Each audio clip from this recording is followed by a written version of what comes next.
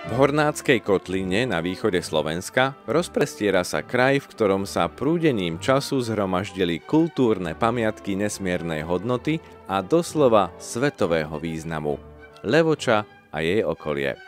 Odpradávna bola nielen centrom celého Spiša a jedným z najvýznamnejších slobodných kráľovských miest, ale stala sa aj jedným z hlavných centier renesancie a humanizmu v celom Uhorsku.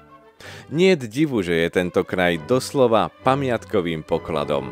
Nájdeme tu prastaré jadro Levoče, pútnickú Mariánsku horu, Spišský hrad či Spišskú kapitulu, nie náhodou nazývanú Slovenský Vatikán.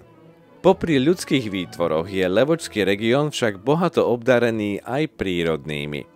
Na dohľad ho obklopuje nie menej ako štvorica národných parkov a až priamo k Prahu mesta siahajú Levočské vrchy. Ich hlboké a tiché lesy i podhorské lúky sú idylickým prostredím, ktoré láka k nekonečným potulkám s nádhernými výhľadmi. Nie nepodobnými tým, čo ponúkajú aj tieto fotografické obrazy. Levoče a je okolia z neba.